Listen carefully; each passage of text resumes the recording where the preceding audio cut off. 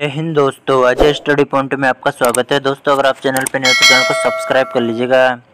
यहाँ पे साइंस के टॉप पंद्रह क्वेश्चनों की सीरीज़ चल रही है, जो कि सारे ही क्वेश्चन एसएससी के प्रीवियस ईयर से लिए गए क्वेश्चन है। काफ़ी इंपॉर्टेंट क्वेश्चन है।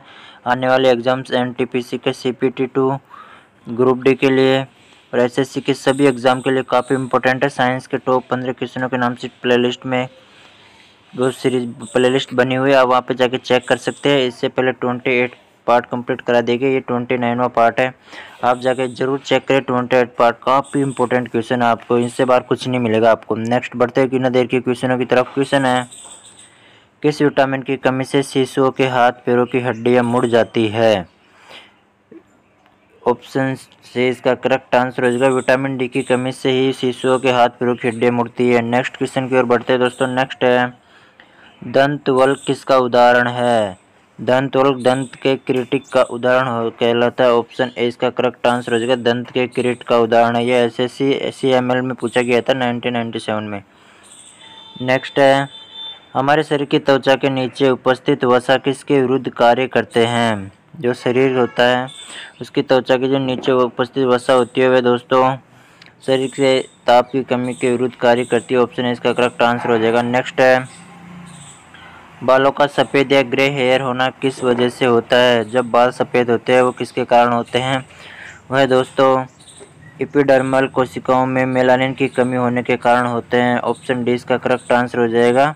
इपिडर्मल कोशिका में मेलानिन की कमी होने के कारण बालों का सफ़ेद हो जाता है। नेक्स्ट क्वेश्चन है दोस्तों। मच्छरों में चलन हेतु कितने पाद होते हैं?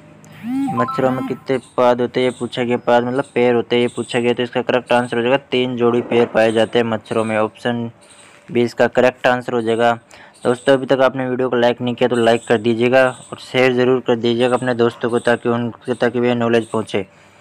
नेक्स्ट क्वेश्चन है। मानव शरीर में सबसे लंबी अस्थि कौन सी है? मनुष्य की सबसे लंबी अस्थि जहाँ भी पाई जाती है ऑप्शन बी इसका करेक्ट आंसर हो जाएगा। नेक्स्ट क्वेश्चन है, मानव शरीर में सर्वाधिक कठोर पदार्थ कौन सा है?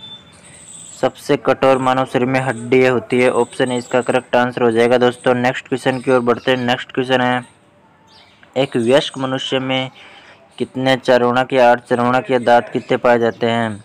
तो एक व्यक्स मनुष्य होता है, वह कौन सा कहलाता है? ऑप्शन डी इसका करेक्ट आंसर हो जाएगा, जिसमें बारह चरणक दांत होते हैं। वह वैश्क मनुष्य कहलाता है। नेक्स्ट क्वेश्चन है दोस्तों।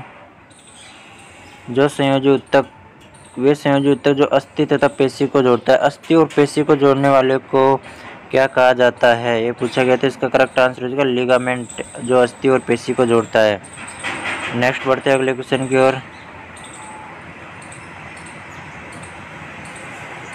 ओ सॉरी सॉरी सॉरी वो संयोजी उत्तक जो अस्थि तथा पेशी को जोड़ता है। टेंडोन कहलाता है टेंडोन सॉरी दोस्तों। इसका करेक्ट आंसर रहेगा टेंडोन कहलाता है अस्थि और पेशी को जोड़ने वाले को। नेक्स्ट बढ़ते हैं अगले क्वेश्चन की ओर। मानव में कुल कितने प्रकार के दांत होते हैं?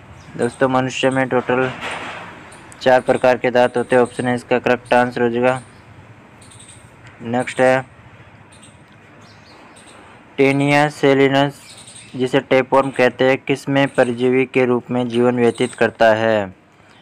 दोस्तों, जो टीनिया सोलियम होता है, वह मानव आंत के रूप में अपना जीवन व्यतीत करता है। ऑप्शन से इसका करेक्ट आंसर हो जाएगा। नेक्स्ट बढ़ते अगले क्वेश्चन की ओर। नेक्स्ट है एक केंकड़े में कुल कितने पात पाए जाते हैं? जो केंकड़ा होता है, उसमें टोटल आठ पात पाए जाते हैं। ऑप्शन से इसका करेक्ट आंसर हो जाएगा। नेक्स्ट बढ़ते अगले क्वेश्चन की ओर। नेक्स्ट है टूटी हड्डियों को जोड़ने हेतु निम्नलिखित में से किसका लेपन किया जाता है? दोस्तों, जो टूटी हड्डियाँ होती हैं, उन्हें जोड़ने के लिए प्लास्टर ऑफ़ पेरिस का प्रयोग किया जाता है। ऑप्शन डी इसका करेक्ट आंसर हो जाएगा। नेक्स्ट क्वेश्चन की ओर बढ़ते हैं। नेक्स्ट क्वेश्चन है, मानव शरीर में कुल कितनी हड्डियाँ उपस्थित होती है? इसका आंसर आप कमेंट बॉक्स में कमेंट करके बताइएगा। नेक्स्ट और लास्ट क्वेश्चन है, इस वीडियो का दंत वल्क जिसे एनिमल कवर कहा जाता है, क्या है? जो दंत वल्क है, वह पूछा गया कि क्या होता है ये दंत वल्क इसका करेक्ट आंसर हो जाएगा, दांतों के जो आवरण होता है, उसे दंत वल्क कहा जाता है। ऑप्शन है इसका करेक्ट आंसर हो जाएगा। दोस्तों, वीडियो पसंद आए तो लाइक कीजिएगा, चैनल को शेयर और सब्सक्राइब ज़रूर कीजिएगा। अपने दोस्तों तक ये नॉलेज पहुँचाइएगा। धन्यवाद।